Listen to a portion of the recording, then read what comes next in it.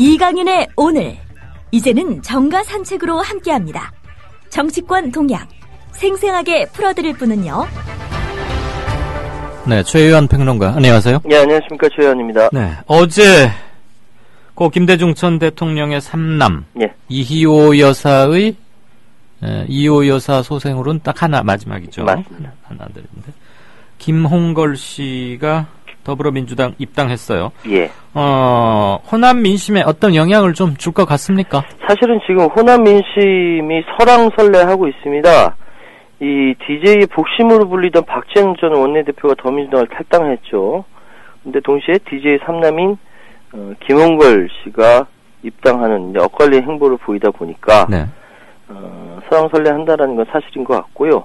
그런데 이제 그 예전부터 그 얘기는 있었습니다. 김홍걸 씨가 목포로 출마한다. 예, 그랬죠. 그 얘기는 있었거든요. 그래서 목포 시민이 역대 그 어느 총선 때보다 지지 정당이나 인물로 그 혼란스러운 상황인데요. 그런데 어 지금 박지원 의원이 절대 김홍걸 씨는 목포로 출마하지 않을 것이다. 예, 이 부분은 이제 방송에 나와서 이 얘기를 했어요. 예. 어, 이거, 이거 뭐 추측컨대 예, 이호 여사와 이야기가 있었던 것 같은데 그 무, 무관하게 어쨌든 뭐 이, 목포 출마설은 계속 거론되고 있고요. 그래 목포에서도 뭐 여러 가지 이야기가 있지만 특히 좀 그 김홍걸 씨에 대해서 그 섭섭해하게 생각하는 사람들 중에 하나 에, 의견은 김대중 대통령의 업적이 굉장히 훌륭한데 아들 문제에 있어서의 에, 문제가 있- 어, 문제가 있었다. 그 부분에 에, 당사자 아니냐 이런 목소리가 있네요. 네. 어쨌든 그 김 교수는 특히 입당 회- 어, 기자회견에서 더민주는 아무리 당명이 바뀌어도 김대중 정신과 노무현 정신이 합쳐진 60년 야당의 정통 본류다. 그래서 아버님과 호남을 분열과 갈등의 수단으로 삼아서 안 된다. 단호하게 이야기했는데요. 이른바 탈당파와 김홍걸 교수 사이에 호남 적통 논쟁인 거죠. 이것이 이렇게 정치 이면에서는 어떤 이야기가 있을지 모르지만 그새 과시에서는 분명히 이렇게 이야기가 되고 있고 호남 민심은 지금 여전히 요동치고 있다라고 말씀드릴 수 있고요. 네. 여기서 한 발짝 더 떨어져서요. 문재인 더불어민주당 대표는 심상정 정의당 대표와 회동을 가졌습니다. 법리여권 전략협의체 구성에 합의를 했다라는 이제 내용의 보도가 계속 나오고 있거든요. 근데 그 신 대표가 어떤 이제 그 단둘이 만나서 이야기했기 때문에 바깥으로 나온 얘기는 구체적으로 나오지 않고 대변을 통해서 이- 나온 것 뿐인데 실제적으로 어떤 얘기가 나온지 모르지만 어쨌든 들려온 이야기로서는 뭐 이번에 선거법과 노동법법 쟁점 법안에 대한 이야기와 함께 네. 특히 야권 큰 단순히 야권 연대 후보 단이라는 협소한 의미가 아니라 야권의 큰 비전과 같이 정책을 공동으로 마련하고 정권 교체를 위한 프로세스까지 같이 하자라는 이야기를 했다고 이야기를 했습니다. 네. 그러니까 음, 이 역할을 심상정 대표가 한다라고까지 이야기를 했거든요. 근데 지금 뭐 들리 그러니까 전체적인 얘기는 심 대표가 이번에 에, 안철수 당과 문재인 당의 가교 역할을 하겠다 뭐 이런 이야기까지 나오고 있는 상황인데 글쎄, 뭐, 거기까지 가능할지는 모르지만. 그게 가능할지 모르겠어요. 공동 정권을 창출하기 위해서 좀 큰 그림 그리고 먼 그림 이번 총선까지만이 아니라 그 이후를 염두에 두고 긴 차원에서 총선 전략도 한번 세워보자 이렇게 이해하는 게 그나마 제일 정확하겠죠. 뭐 지금 나온 얘기는 그건데요. 네네. 과연 저는 그것이 의문스럽습니다. 네. 과연 가능할런지 예, 그건 의문스럽고요.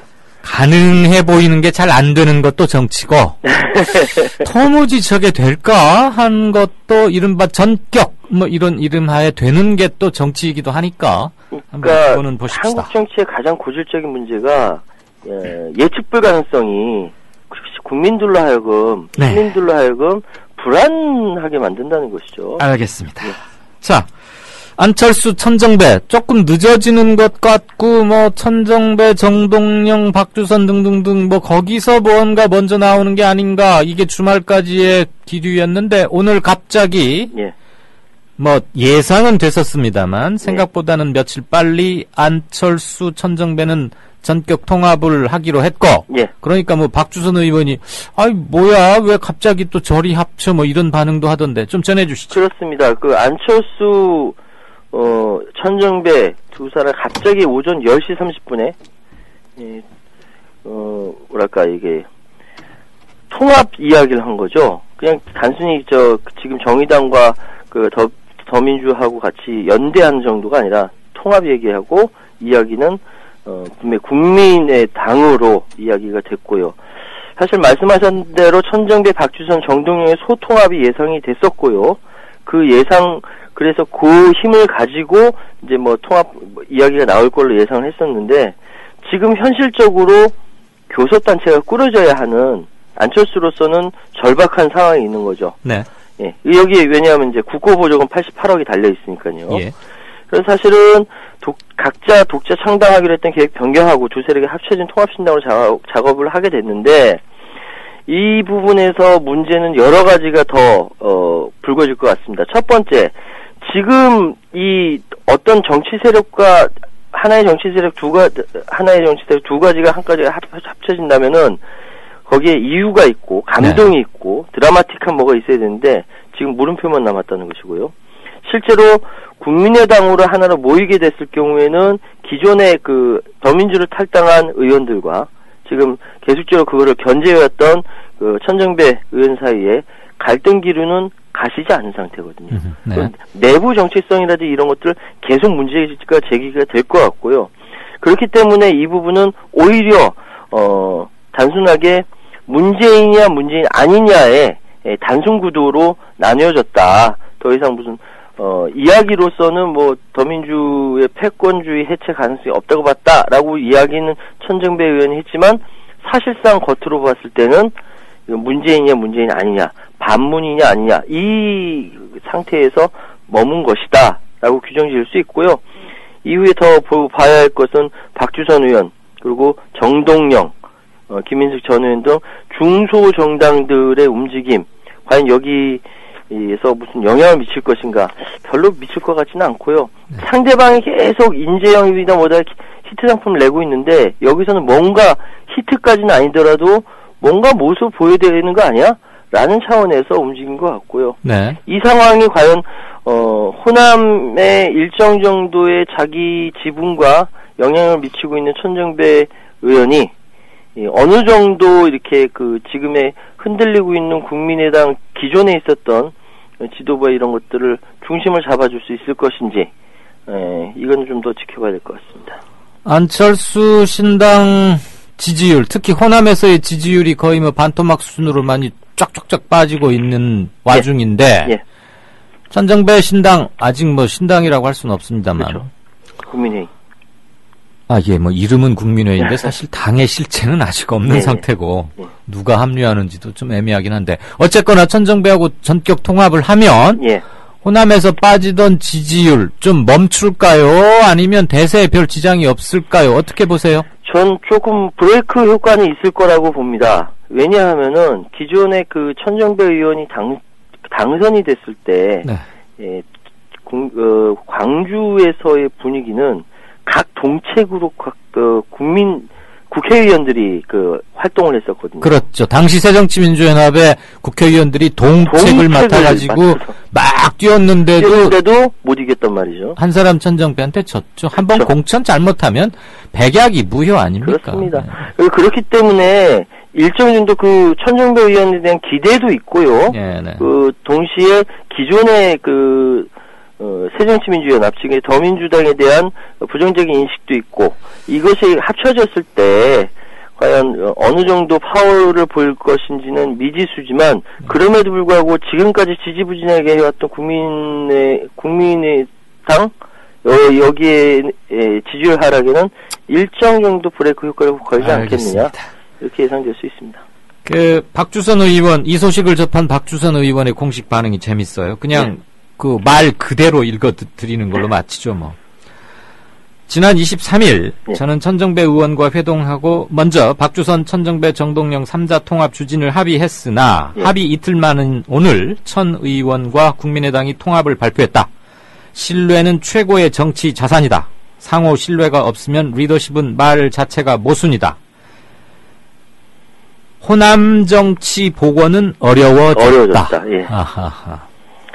그 박주선 그건 당이 아니고 아까 뭐 저 더불어민주당은 히트작을 계속 내놓는다고 그 저 최평론가가 얘기했는데 그러니까 안타를 계속 쳤다 이 소리인데. 예. 박주선 씨나 지금 천정배 의원은 아직 야구팀도 구성을 못했으니까 정, 예. 정규 게임에 등판을 못하니까 안타를 칠래야 칠 수도 없고 그렇죠. 그 실체가 있습니까? 그거 정당으로서? 그러니까 사실은 제가 생각하기로는요. 예. 박주선이나 박준영이나 아 거기도 있지. 예 김민석이나 혼자식들이 있는 거 아니에요? 그렇죠.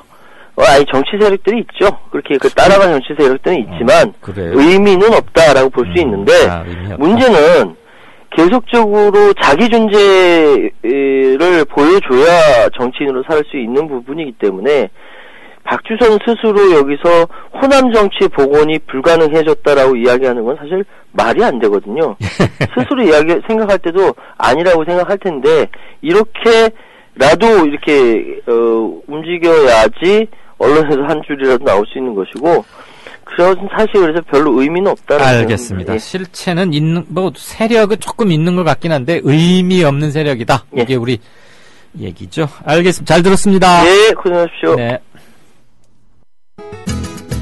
월간 다운로드 수 천만 팟캐스트계의 에이스 국민 라디오가 광고주를 찾습니다. 직접 찾아서 선택해 듣는 방송. 청취 몰입도가 높은 방송. 지상파 케이블 광고와 차원이 다릅니다. 부담 없는 가격, 소비자의 열띤 반응, 전혀 다른 광고의 블루오션을 경험해 보십시오. 국민 라디오 골뱅이 gmail.com으로 문의해 주시면 상세히 안내해 드리겠습니다. 지금 여러분께서는 정치평론가 이강윤이 진행하는 이강윤의 오늘을 듣고 계십니다. 이강윤의 오늘은 팟캐스트 포털 팟빵에서 다시 들으실 수 있습니다. 의견과 건의가 있으시면 게시판에 남겨주세요. 네. 이강윤의 오늘 사교육 없는 세상을 위하여의 2016년 시리즈 2탄 격이죠. 학원 다니지 마라.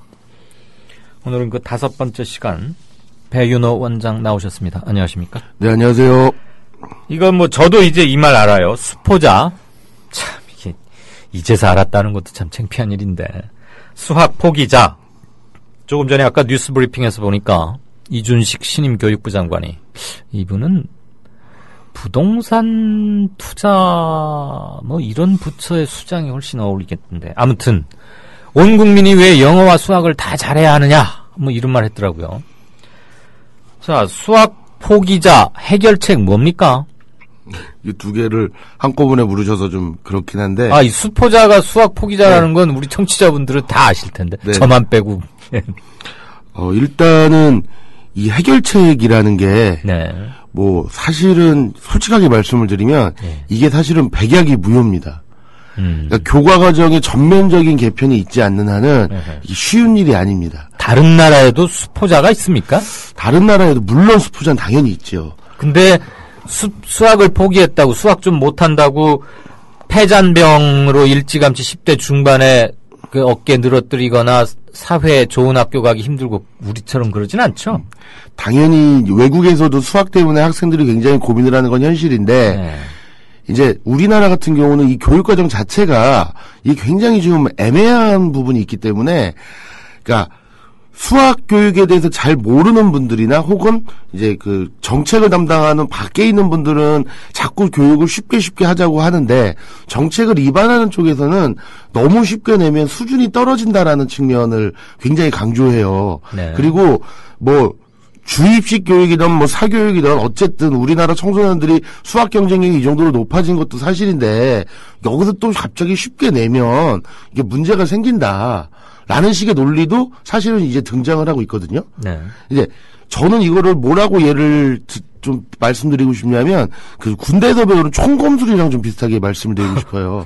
예. 이게 무슨 말이냐면 지금 훈련소에 가면 신병들이 아직도 총검술을 배우고 있더라고요. 예. 그런데 실질적으로 지금 현대전에서 육박전이 벌어질 확률이 자체가 굉장히 낮지 않습니까? 어. 그리고 이게 대검을 착용하고 뭐 이런 식으로 하는 그 연무형 16개 자세 뭐 이런 것들이 사실은 굉장히 구태의연한 제도거든요. 네.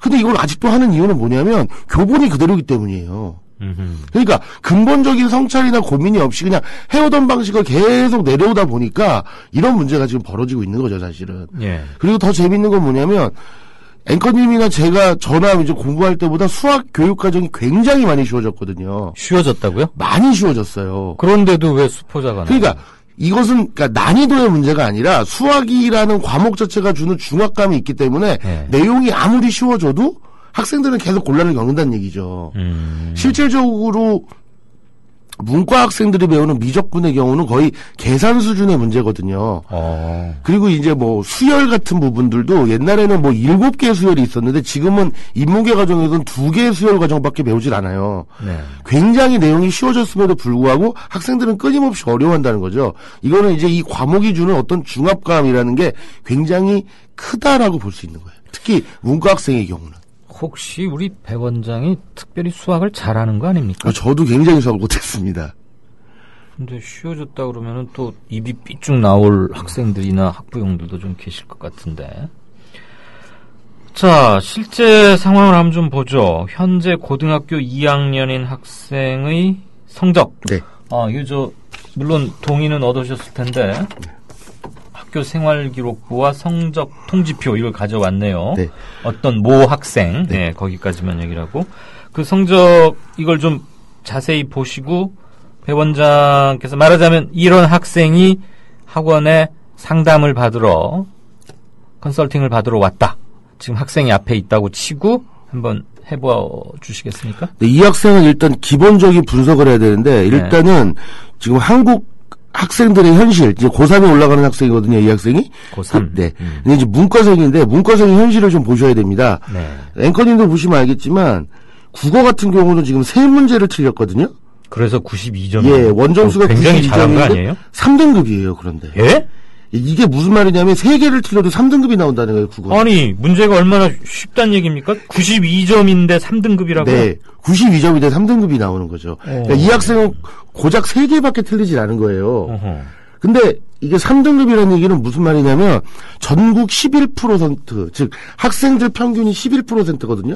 그러니까 이 학생은 지금 11%에서 12% 사이에 들어와 있다는 거예요. 그러니까 국어 과목으로만 따지면 전국 학생들을 쫙 일렬로 세웠을 때 100명이라면 이 친구는 12등쯤 하는 성적이다 네, 이거죠? 그렇습니다. 세 문제 예. 틀리면 그리고 영어를 보시면 100점 만점에 91점이거든요. 네. 근데도 3등급, 2등, 그런데 2등급이에요. 어. 이 정도로 국어랑 영어는 굉장히 많이 학생들이 열심히 하는 부분도 있고 필요성을 느끼는 부분도 있고 이렇기 때문에 열심히 하는데 수학을 보시면 현재 65점이거든요. 예.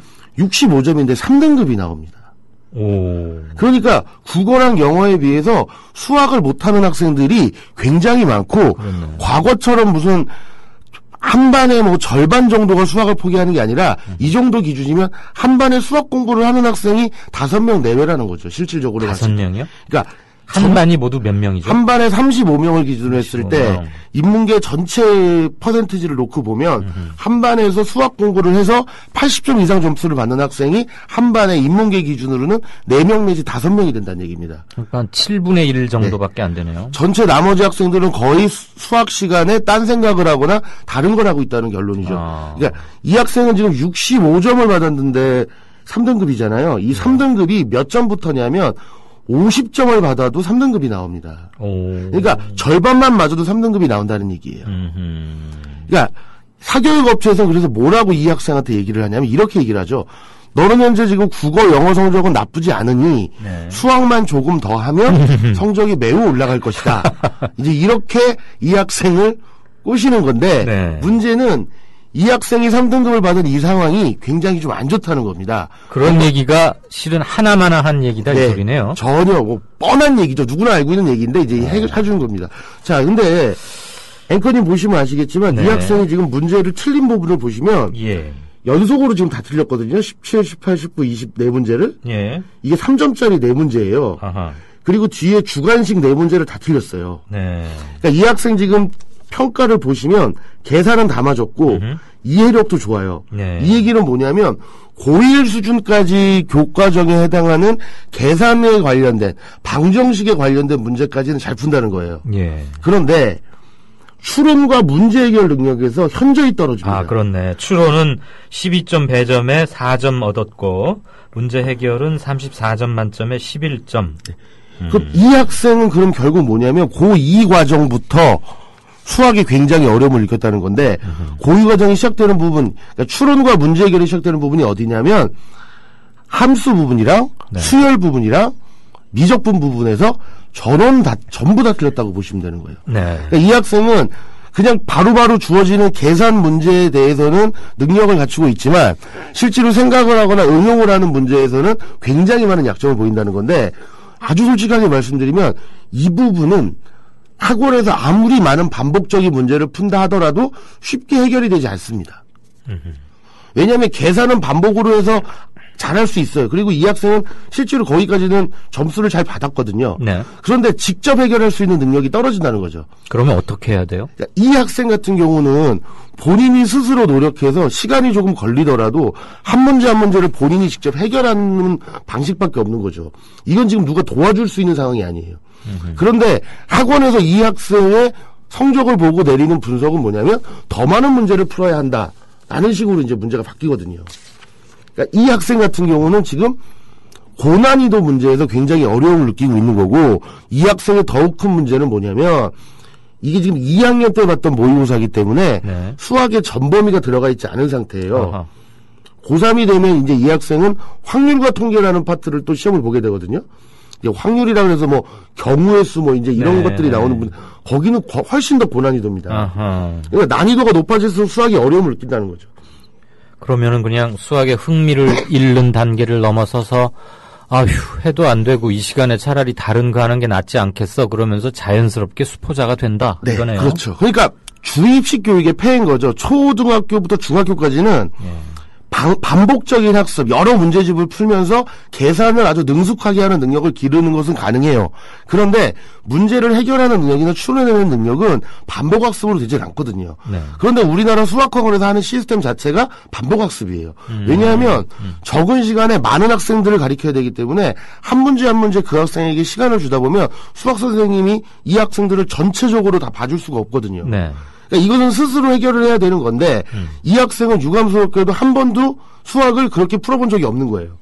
그러니까 남들은 뭐그 보기 좋은 말로 한참 생각해라, 뭐 한 시간이 걸리더라도 생각해라 이렇게 하지만 예. 실제 문과 성향의 학생들은 답을 빨리빨리 내는 걸 원하기 때문에 이 학생이 쉽지가 않다는 거죠. 그런데 더 이제 재밌는 건 뭐냐면 이 학생의 진로 희망이에요. 네. 부모님이 약사를 원해요. 원하는 거지. 이 친구가 지금 문과 아니에요? 이게 문과입니다. 네네. 학생은 또 경영이나 경제학과를 가기를 원하는 거예요. 음흠. 수학이랑 아무런 지금 수학이랑 관련된 것이 전혀 없는데도 불구하고 이런 식의 직업군을 택하고 있는 거죠. 그러니까 본인의 성향 자체를 아직 완벽하게 파악하고 있지 못하는 겁니다. 그런데 네. 엄마 아빠가 갖기를 희망하는 직업이거나 학생 본인이 하고 싶은 경영 경제학 하려면은 어쨌거나 수학을 조금 해야 되잖아요. 네. 그러면 그놈의 수학 때문에 꿈을 접어야 하고 부모의 희망을 바꿔야 하나요? 일단은 일단은 생각을 해봐야 될 건 뭐냐면 이제 제가 이제 솔루션을 제시하는 건이 네. 학생이 이 직업을 정말로 원하는지를 물어봐야 돼요. 아, 그리고 이 부모님이 학생을 얼마나 파악하고 이거를 원하 이거 이런 희망을 말씀하셨는지를 봐야 돼요.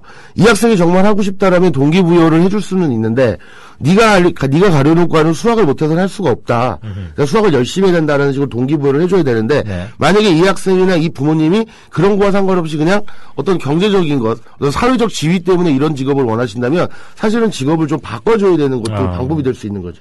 아니 뭐 부모들은 그냥 괜히 뭐 의사, 약사, 뭐 사자 들어가는 거 좋아하니까 좀 그렇다고 치고. 근데 이 학생이 경영이나 경제학을 하고 싶다는데 그러면은 너가 경영 경제학을 하기 위해서는 수학을 최소한 좀 해야 되니까 수학은 좀 하거라. 그런데 기존 학원에 가서 루틴 학 저 학원에 가면 흔히들 하는 그런 교수법으로는 얘는 좀 나아지기 힘든 거 아닙니까? 나아지기가 힘들 뿐만 아니라 그럼 어떻게 해야 돼? 이 학생은 스스로 본인이 예. 목표를 정해서 내가 이 목표를 정하기 위해서는 수학 공부를 해야 된다는 결론이 도달하기 전까지는 수학 성적이 올라가기가 쉽지 않습니다. 분명히 지금 성적이 고2 때부터 떨어지고 있는 거거든요.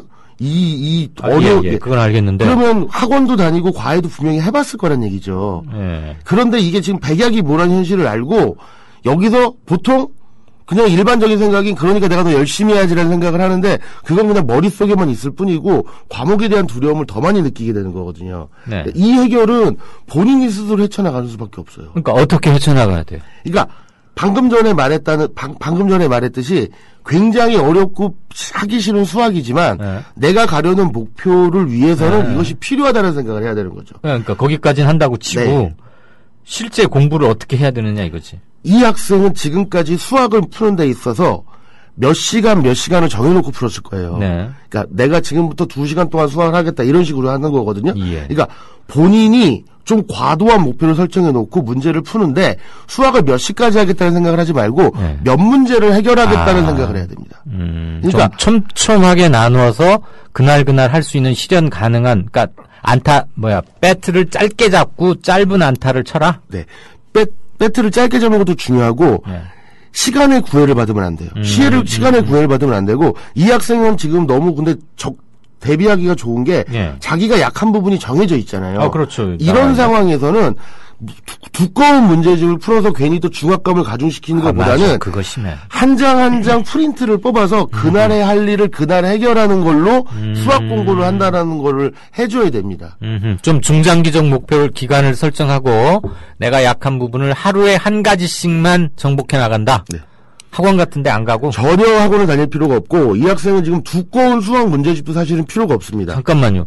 얘가 어떤 문제가 어려운데 집에서 가르쳐 줄 엄마 아빠가 사실 엄마 아빠가 고등학교 과정 수학 못 가르쳐 줄 수도 있잖아요. 그럼 뭐 어떻게 혼자를 해요? 옛날과 과거와 달리 지금은 프린트나 어떤 문제집의 풀이가 굉장히 잘 되어 아, 있습니다. 그래요? EBS 교재 같은 경우는 문제와 그 풀이의 분량이 거의 비슷한 정도예요. 음, 알겠습니다. 그러니까 스스로 얼마든지 할 수 있는 지금 시스템이기 때문에 중요한 건 부담을 안 가져야 되기 때문에 일단 한 장씩 낱장으로 풀어야 되는 음. 거예요. 그리고 하루에 열 문제 정도를 하는 게 좋고 이 학생은 현재 국어랑 영어는 특별히 더 안 해도 되는 거거든요. 당분간은 네. 수학 성적이 오를 때까지는 수학만 하는 거예요. 음흠. 그래서 괜찮게 하고 있는 국어 영어에 괜히 학원비나 가- 과외비 쓰지 네. 말고 수학도 그냥 유명한 수학 학원 쫓아다니지 말고 하나 하나씩만 적어서 나 혼자 해본다. 그러다 정 안 되면 뭐 선생님한테 묻거나. 그러니까 추론이랑 문제 해결이 어렵다는 게 뭐냐면 여러 가지 개념이 합쳐졌을 때 어려움을 느끼는 거거든요. 네. 한 가지 개념, 계산이나 이해는 다 지금 되는 학생이잖아요. 알겠습니다. 이게 조합되는 단계만 좀 잘해주면 문제가 없을 거라고 보는 거죠. 배 원장이 이렇게 수년, 뭐 10년 넘게 지금 쭉 컨설팅, 뭐 논술 이런 거 해오고 계시는데 배 원장이 보시기에 오늘 예로 든 이 학생, 그, 어디에 아무개는 밝히지 않겠습니다만 제가 지금 학생 생활 기록부 이런 걸 다 보고 있는데 이런 친구가 전국에 에, 상당히 많습니까? 문과 학생들의 네, 전형적인 대부분의 케이스. 아. 케이스입니다. 예. 적어도 문과에 가 있는 학생들의 대표적인 케이스라고 볼 수 있는 거죠. 그렇죠. 자, 그러니까 수학, 예. 네. 한 말씀만 더 드리면 문과에 지금 문과에 지망하고 있는 학생들이나 또 자들이 문과에 네. 진학하고 계신 분들한테 제가 꼭 말씀드리고 싶은 건 네. 우리 아이가 성적이 중학교 때까지 좋았는데 고등학교 때 갑자기 성적이 떨어졌다. 음. 그래서 여러 학원도 보내보고 있고 과외도 해보고 있는데 대책이 없다. 대책이 당연히 없습니다. 마지막에 결국은 스스로 학생이 풀어나가야 되거든요. 네. 근데 이걸 누군가 풀어주는 거에 익숙해져 있기 때문에 그것을 모르는 걸 가- 당연히 당연하게 여기고 있어요. 네. 그러니까 반복적인 학습으로 학원을 보내주려고 하지 말고 학생과의 대화를 통해서 이 학생이 내가 왜 수학을 할- 해야 되는지에 대한 동기부여를 해주시는 게 더 중요해요. 네. 학원을 보내준다고 해서 이게 해결이 되는 방법이 아닙니다. 알겠습니다. 자, 문과에 있는 그런 수학 때문에 골머리를 앓고 있는 전국의 많은 학생들 좌절하지 말고 하루에 하나씩만 골라서 혼자 우선 혼자 한번 해보자. 예, 그 정도는 시도할 가치가 있겠죠. 아무튼 뭐 수열, 함수 막 이런 단어를 이강윤의 오늘에서 하리라고는 참 상상을 못했는데 여러분들에게 좀 실질적인 도움, 그 다음에 학생과 학부모 모두 시각을 조금 바꾸는데 이 코너가 일조하기를 바란, 바라는 마음, 그 진정성은 좀 헤아려 주시고 들어, 들으셨으면 하는 바람입니다. 자, 오늘 수포자 얘기는 이렇고, 내일 모레 수요일에는 영어 부분 얘기하네요. 네. 네. 오늘 말씀 고맙습니다. 예, 감사합니다. 미디어 협동조합이 벌이는 싸움은 단번에 끝나는 단거리 달리기가 아니라 마라톤입니다. 반만 년 동안 기승을 부려온 기득권 논리, 또 기회주의가 어찌 일거에 숙청되겠습니까? 인내심과 지구력을 갖고 천천히 또박또박 그리고 신랄하게 헤쳐나가야 합니다. 국민 TV의 조합원이 되어 주십시오. 이 사술과 기만의 시대 언제까지 방치하겠습니까? 국민 TV가 가장 무서운 견제자로서 어둠을 해치고 썩지 않게 하는 힘이 되겠습니다. 이제 가입하실 때가 됐습니다. 미디어 협동조합 홈페이지 국민.tv 또는 미디어쿡 12 골뱅이 gmail.com의 문호는 24시간 열려 있습니다. 다 함께 자부심으로 물려줄 세상을 만듭시다. 누가 아닌 바로 당신이 할 일입니다.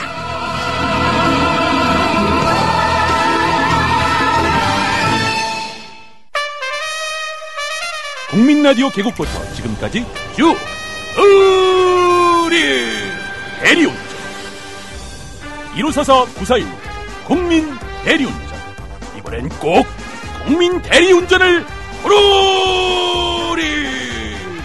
대리. 운전은 꼭 국민 대리운전. 공정언론 국민 TV와 끝까지 함께하겠습니다. 1호사사 941 국민 대리운전.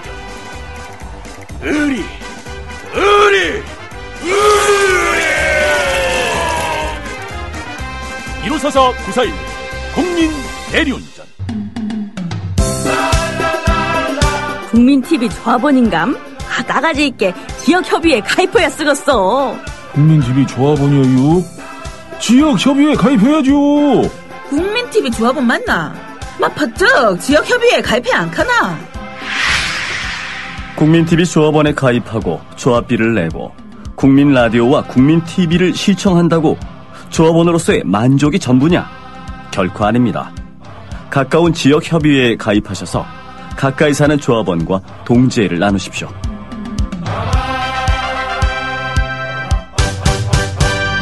자세한 가입 안내는 미디어 협동조합 홈페이지 지역 협의회 게시판을 참고하시면 됩니다. 주장이 질서를 만나면 아름다워집니다. 주장이 화해를 만나면 힘이 생깁니다. 주장이 감동을 만나면 희망이 됩니다. 주장이 배려를 만나면 마음을 움직입니다. 마음을 움직이는 힘, 배려에서 시작됩니다. 한국방송광고공사 공익광고협의회